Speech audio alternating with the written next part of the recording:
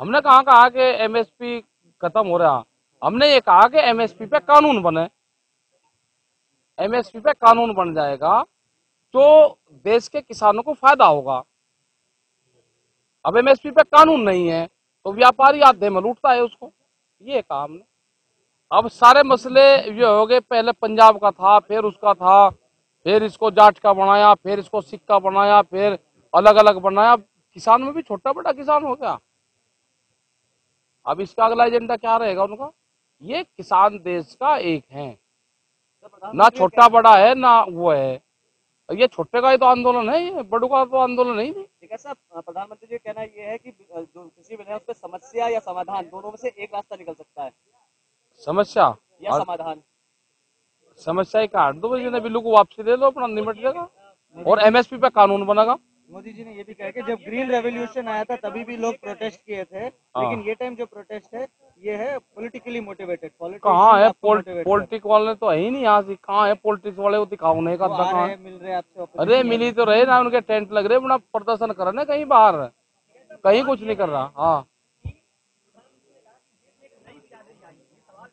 हाँ अब आगे समझ में या किसान किसान बिरादरी है?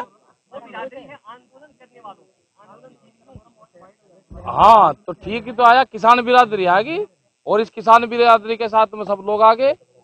देश में भूख पे व्यापार नहीं होगा, भूख कितनी लगेगी? अनाज की कीमत उतनी होगी। देश में भूख से व्यापार करने वालों को बाहर निकाला जाएगा। जिस तरह से फ़्लाइट के टिकट एक ही दिन में चार बार उनके टिकट के रेट ऊपर नीचे होते हैं, इसी तरह से अनाज की कीमतें किस आदमी को किस टाइम पे कितनी भूख लगेगी उसकी कीमत देश में अनाज की कीमत भूख पे तय नहीं होगी। बोला कि अभी रास्ते अभी भी खुले हैं। सदन के पास सदन के रास्ते के थ्रू भी हम दूध की भी ये पॉलिसी लेकर आ रहे हैं। बाहर से दूध बहुत निर्यात हो रहा है। देश का किसान जो दूध का उत्पादन करने वाला है मर गया पूर्ण रूप से। लागत ज़्यादा है और दूध में जो बिकता है वो कम रेट पे बिकता है। पानी से सस्ता देश में दूध बिक रहा।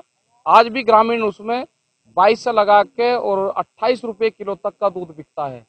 इससे खर्चा नहीं चलता, उसका भी एक रेट फिक्स है।